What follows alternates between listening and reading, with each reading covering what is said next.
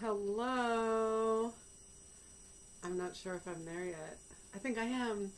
Happy New Year! Life is good. Check me out. I got this. I got some.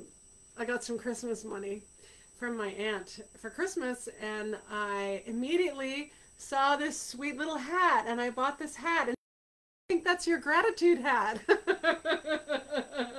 was like, oh my god, I love that I, I have a gratitude hat. Who doesn't want one of those? Especially. happy, happy New Year. I've been homesick with COVID. I am honestly super grateful. I feel like I barely got sick. So, um, there, not to be, knock on wood, I, um, I tested positive on Christmas Day. I actually was thinking that I had this kind of half expired test and I wondered, but I, didn't even feel that bad. And then I checked, I was talking to my parents, I'm like, I just tested positive for COVID. Bummer, man. so I spent my week between Christmas and New Year's.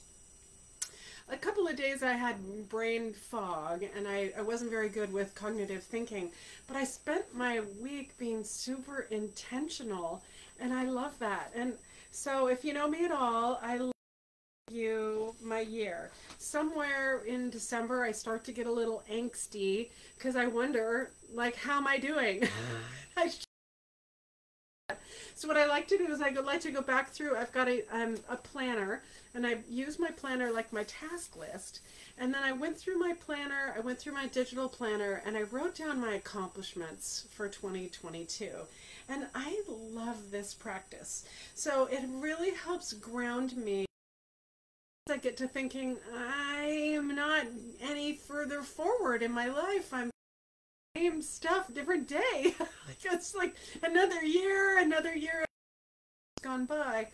But when I look at my accomplishment, it always feels so good because I realize that even though I set these kind of global intentions of my life and I get kind of distracted and I recourse correct and I get to course correct like I still get lots of things accomplished. So I start out and I just do kind of a brain dump and I I wrote down my accomplishments for 2022 and then I ran out of room on that piece of paper so I started with some more and it felt so good to me from um, really in the beginning of this time last year I was looking for a place to rent, and um, my lovely colleague Jamie came back from uh, being on. Um, she had duty, I guess, and she she came back and she said, "I need a place to rent," and I'm like, "I'm already looking for." We show I showed her all the places that I started looking, and we agreed to kind of go into business together and find a place. We found a place. We remodeled we rebuilt our website. We like we like I there's so many things that I did as part of setting that intention. And then out of someone asking me like what do you want your business to be like? What's your favorite part of what you do? And my favorite part of what I do and classes and offering opportunities for women to come together in community and to share and to grow and to learn and to just be vibrantly alive. That's like my that's the joy of my joys. So just thinking about accomplishments is a to to start your year. Again, I just go back through my back at the places that I went, to the trips that I took, the tasks that I endeavored that feels super good. And then I like to goals in the big five areas of my life. Big five. And, you know, goals are really the wrong word for me because it's all about. So sometimes I get all caught up with, like, I set a and then I don't meet it. And it, you know, I know you've all heard this, like the SMART goals. It needs to be smart and measurable. It needs to be action oriented. It needs to be, you know, you're endeavoring to do it. You're not waiting for someone else to do it. And you can you can set these parameters around your goals. Well, that works great for me in some areas, like, you know, redesign my website. Um, but it doesn't work so good for me when I'm talking about my spiritual development or um, my wanting to be deeply connected in loving relationships um, in all areas of my life with my community, with my clients, with with my friends, with my family, in in partnership. Like it, it's this this it's like this global piece. So I like to use the word intention, and intention is good for me because then I can kind of riff into each one of these little categories of my life. So I have health, wealth, calling. That's what I think of as business or career relationships, and spiritual. Those are my big five areas. And then I just kind of set some intentions in each of those. I did a little bit of journaling. There's my health, there's my wealth, there's my calling, there's relationships, spiritual. And down through that, I take a look at the common thread that has come out for me. And when I looked at my list of accomplishments, away from that list going wow i really did a lot. Like i like good for me. Like i got a lot done. But i also felt like um like maybe i was too busy striving and doing. And i remember earlier in the year i think it was around it was it was around solstice summer solstice or maybe it was maybe it was after. It was probably it was probably the fall equinox because somebody said to me how was your summer? And i i did a momentary pause and i activities that i did and i and i i went it wasn't that great. What? Like i love summer. I had this sense or this feeling that i had too much that I was too much doing I didn't spend enough time being or playing or hiking or laughing with my friends or going camping or pursuing joy. Like I was really mostly I worked, I did the laundry, I stayed home. Not a rich full life experience to me. So accomplishments list, I kind of it was this kind of realization like for me, I can check off the list. But that's not what I want this year to be about. I want this year to be much more about joy and flow and play and creation and and uh, just this sense of like thriving. and so the, there's a couple of things that I do. So so now you've just saw me. I listed my accomplishments.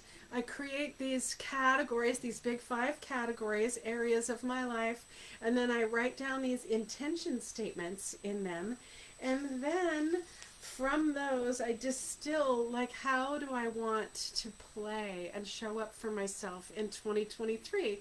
So the thing that came up that I want to play more. I want to slow down. And I wrote slow life movement slow food movement, like farm to table, like grow your food, enjoy your meals, take time to, to cook meals. I live alone. I don't spend a lot of time cooking meals. Like, I want to bring that back in as a way to nourish myself and my life.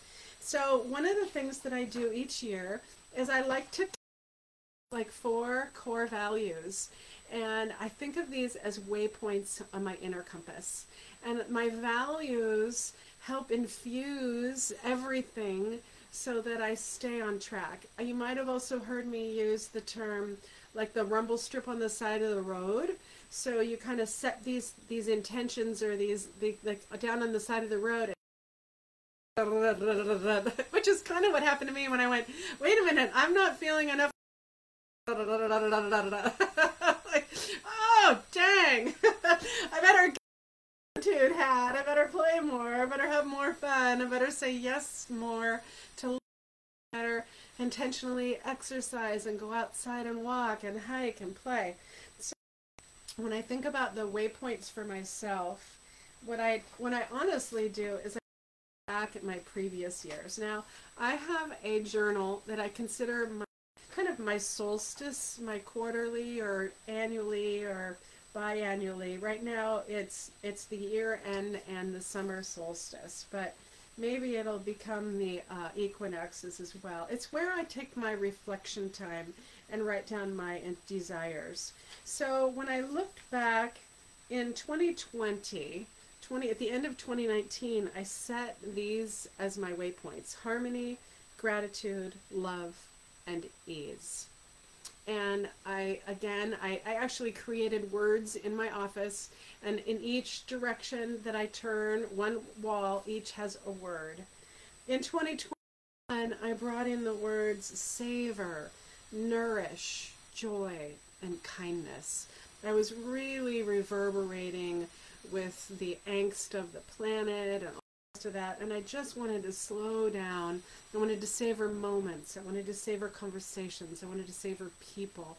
I wanted to spend time thinking about being around people, doing nourishing things, nourishing myself with food, joy, and kindness. And then in 2022, I wrote down creative, gratitude, and prosperous. Like bringing in that, bringing that back into the fold. And now that I have had those, I, have I've kind of, if you think about a compass, I don't know if you've seen those Mariner's compass, there's like the north, south, east, west. Those are the four main points. And then there's all these other little spikes on the compass. So maybe there's some other cardinal aspects. So I like to think that, that quite possibly these words are still in my inner compass. They're the values, they're the ways I want to govern my life by. And for this year, I chose flow, play, create, and thrive. And for me, the flow, the flow state, that that is my like overarching word for the for the year. I want to be in flow state, like the moment when the wind feel, fills your sails and the, the, the sailboat's at a keel. It's right timing, it's right conditions, it's things aligning, it's things clicking into place. I thought, I, I was talking the other day and I was like, I just want the Rubik's Cube of my life, like all four sides, to just click, click, click into place, click, click, click into place, click, click, click into place and have every aspect of my life. So again, this is flow. It's a way of losing oneself. It's creative, expansive, gliding, grounded. It's reading the elements. It, it's embodied in the merrily, merrily, merrily, merrily, life is but a dream. Row, row, row your boat gently down the stream. That's flow state for me. And then I, I took I took that I did that with each one of my words. Play, create, and I I kind of wrote them all down and thrive and what they all mean to me. So when I got down to it, my action word my power statements are I flow, I play, I create, thrive. And that just feels really, really good. So, is where I'm at today on New Year's Day. If you would join me and do a little personal assessing for yourself, look at where you're at with your accomplishments from last year to set some values, core values like inner waypoints on your inner compass, or if you want to flesh out your kind of intentions for where you are in the different areas of your life health, wealth, career, or calling, relationships, spiritual connection to yourself. Please feel free to share. You can reach into this group and, and share some of your thoughts.